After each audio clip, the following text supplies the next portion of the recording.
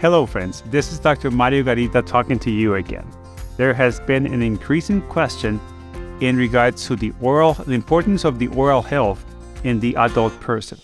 It is very important to emphasize that the oral health, a bad oral health, affects directly kidneys, brain, and the heart.